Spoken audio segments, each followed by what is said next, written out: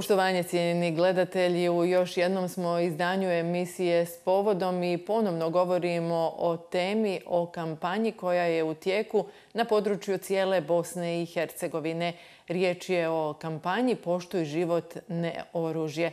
Ovaj put razgovaramo s glasnogovornikom e, Ministarstva unutarnjih poslova Hercegovačko-Neretvanske županije, samostalnim inspektorom Ljudevitom Marićem. Dobro vam večer i dobro nam došli. Dobro večer vama i vašim gledateljima. Hvala vam lijepa na odzivu. Evo, kao što rekoh, u tijeku je kampanja Poštuj život, ne oružje. Možemo li posjetiti malo naše gledateljstvo na ciljeve i tko sve sudjeluje u ovoj kampanji?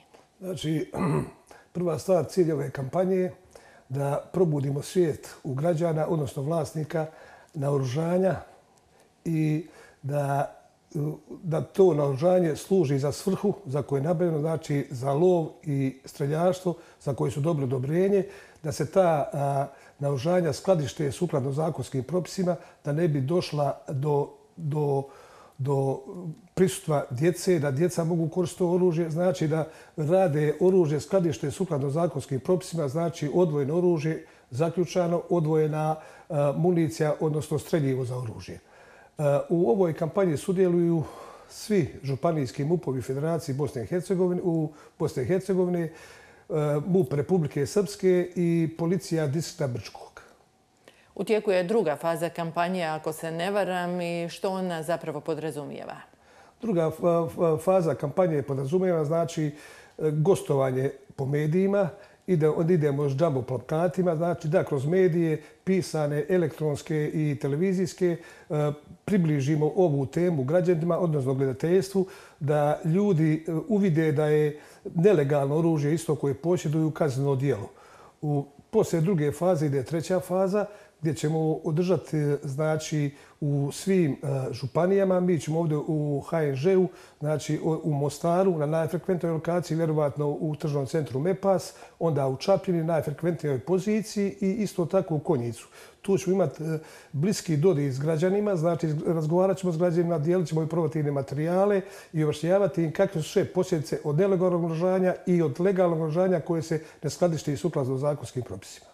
Kad spominjete posljedice kroz statističke podatke, može se najbolje prikazati i prezentirati kakve su to posljedice nelegalnog posjedovanja oružja. E, pa evo, što kažu statistički podaci? Znači, u Bosni i Hercegovini legalnog ražanja ima negdje oko 384 tisuće registrirano možemo reći da od te brojke negdje oko 70% ima još nelegalno žanja koji su, koje je ostalo od rati događanja. To nelegalno žanje i legalno žanje gdje vlasnik, ne, gdje vlasnik naožanja ne pridrživa se zakonskih propisa, može doći, e, s kojim se može izvršiti e, niz rad, kriminalnih radnji, može doći do djece, može doći i do, do ubojstava. Znači, Znači, to naoružanje e, koje je nelegalno, građani trebaju da predaju nadležne policijske uprave. Možemo onda slobodno kazati da su za sada ti podaci poražavajući? Pa jesu poražavajući ti podaci. Znači, svaka šesto ubojstvo u, u Bosni i Hercegovini počinjeno je vatrenim oružjem i većinom nelegalnim oružjem. Koliko su građani zapravo svjesni ovoga o čemu govorimo, što naši građani misle o nelegalnom i legalnom posjedovanju oružja kazali su našem Marinu Sutonu, pa pogledajmo zajedno. Ja bih predao sve oružje. Što će? Treba, treba da mirno hodamo, da, da uživamo u životu, da. Što će nam to? Vi ste li vi prijavili nekog susjeda, prijatelja koga znaš da, znate da drži nelegalno oružje? Bi. Bi, ne treba to da ima ni jedna kuća. Ilegalno oružje, bi legalno, normalno, policija ako dopusti da ima čovjek pištolj u kući, nek ima. Čuo sam e, ovih dana da ima akcija da se to oružje može predati bez e, ikakve kazne. E, mislim da bi trebali ovi koji imaju nelegalno oružje dobro o tom razmisliti i uključiti se u akciju. To je jedinstvena prilika da predaju to oružje jer ono da samo donosi nesreću to po mom mišljenju treba iste sekunde vratiti oružje. Zna se zašto služi. Za e, lovce i sportski neke oblike.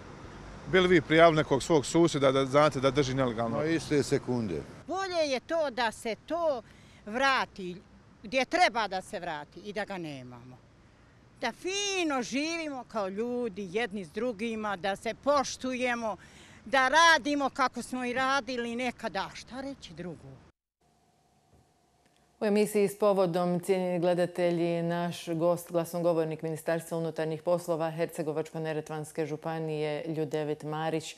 Čuli smo što kažu naši građani, koliko je ovo stvarni odraz onoga što vi trenutačno radite i provodite. Gledajte, znači i po završetku rata na ovim prostorima e, MUP-ovi, odnosno Ministarstvo unutarnjih poslova, zajedno sa međunarodnim zajednicama su e, provodili akcije o prikupljanju nenorožanja i eksplozivnih naprava.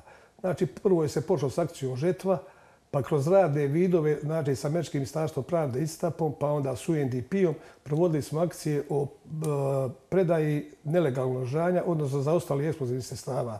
Tu smo imali dobre rezultate, znači, I, i da, danas, znate, vidite, kroz ovu akciju poštujte te oružje, isto provodimo te akcije da smanjimo broj nelegalnog žanja, a samim tim i broj smrtnih slučajeva iz nehata ili nekih drugih oblika nasilja, kao nasilje u obitelji ili femicida. Vidimo u posljednje vrijeme šta sve do, dovodi o, do nelegalnog oružja ili s oružjem koji vlasnik ne raspolaže sukladno zakonskim propisima. I vi ste rekli na početku ovog gostovanja, spomenuli su i naši sugrađani, zakonom je definirano da se može i legalno posjedovati oružje. Kome je ono sve dopušteno? Znači, svakoj osobi koja ispunjava zahtjeve e, koje je zadao zakonodavac da o nabavi e, vatrenog oružja, to su većinom lovci, koje oružje služi i e, e, u sportu znači za streljaštvo. Imamo isto e, kratko oružje pištolji koji građani uzimaju radi svojih osobnih potreba. Znači, kad ispunje sve uvjete koje je propisane zakonom, nadležna policijska uprava odobri nabavu vatrenog oružja i znači uz imamo odobrenje za nošenje i držanje i samo odobrenje za držanje. Znači, to su dva različita pojma i kad ti građani, znači mi imamo u policijskoj upravi Mostar, izdaju u ta odobrenja policijskoj upravi Konjic i policijskoj upravi Čapina na razini naše županije. Uvijek je važno napomenuti, a posebno u ovakvim akcijama kako se oružje i streljivo može predati bez ikakvih sankcija, a također se to može učiniti i anonimno. Pa evo, možemo li to još jedan put naglasiti? Znači, u svim E, Eh, županijama na području eh, federacije federacije naožanje i eksplozivne naprave koje su nelegalne može se predati u nadležnu policijsku upravu bez ikakvih zakonskih sankcija da snosi eh, osoba koja preda to naožanje. Isto tako na poziv telefonskog broja 122 ostaje anonimna, znači ne ide u javnost. Može isto predati na ožanje eksplozivne Isto tako u Republici Srpskoj, osim u distritu Brčko, a isto sad gleda za ti zakon u u saglase, sad tako da ne bi bilo stošenja posljedica, jer posjedovanje nelegalno oružja je kazno dijelo za koje se snose zatvorske sankcije. S obzirom da ovo nije početak akcije, a kako ste kazali, nije ni prva, kakva su dosadašnja iskustva s predajom nelegalnog oružja? Znači imamo mi e, tu dobre rezultate, dobro, e, e, dobre rezultate imamo tu e, oružje se predaje svake godine pravi se rekapitulacija, odnosno vode se statistički podaci koliko je oružja predano i onda sa civilnom zaštom i drugim sigurnosnim agencijama, e, znači u ovome slučaju Demineri ili neke još druge sigurnosne agencije, oružje se uništava. Ili se, ili se ide u spalionice, ili se e, uništava eksplozivnim sredstvima na određenim mjestima za to. Do kada će se kampanja provoditi? Ova kampanja se provoditi, e, sad idemo, u smo već spomenuli, idemo s trećom fazom, pa vjerovatno do šestog mjeseca sljedeće godine. Što bi bila vaša poruka građanima ako do sada to nisu učinili, ako već nisu predali oružje, imaju ga u posjedu ili evo, čuli smo i naše sugrađane ako znaju za nekoga, mada to malo teže ide, ali evo, možete li nam poručiti?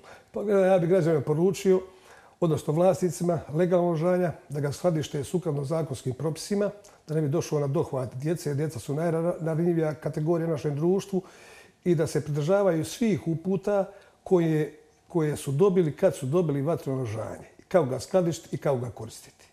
Rekli smo kako je u tijeku druga faza ove kampanje, poštuj život, ne oružje.